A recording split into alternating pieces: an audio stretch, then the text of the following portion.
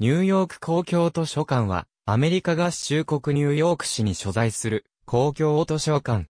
私立の図書館としては、世界屈指の規模を持ち、年間の予算額3億4000万ドル、年間来館者数は約1700万人に上る。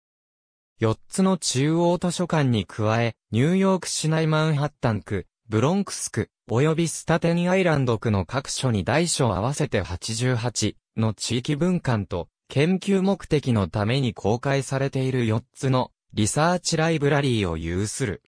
名称には、パブリックという語が含まれているが、設置主体は、ニューヨーク市ではなくあくまで民間の非営利組織で、年間予算の約5分の1程度を民間からの寄付で賄っている。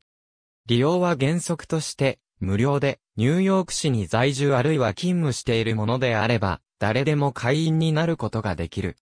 別組織であるブルックリンクのブルックリン公共図書館及びクイーンズ区のクイーンズ公共図書館の図書館システムを合わせると、ニューヨーク市全体では200以上の分館がある。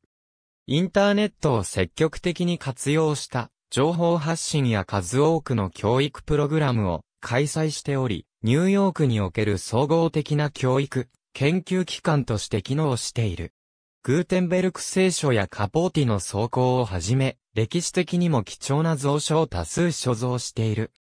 本館は、マンハッタン区ミッドタウン5番街と42丁目のブライアントパーク内にあり、その豪華なボザール建築で観光名所としても知られている。1911年に竣工した。トレードマークはライオンのレオである。19世紀のニューヨークにはアスター図書館及びレノックス図書館という二つの図書館があった。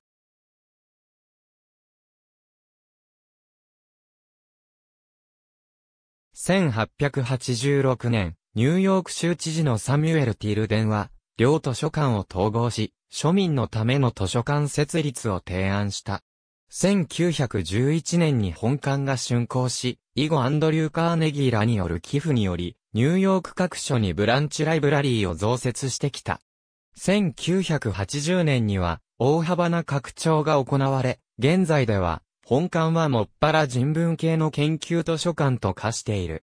正面玄関前に設置されている二つのライオン像は、母体となった二つの図書館の名を受け継いでおのおの、アストル及びレノックスの名を有するが、1930年代の世界恐慌時にはおのおのペーシェンス及び、フォーティチュードというニックネームが付けられていた。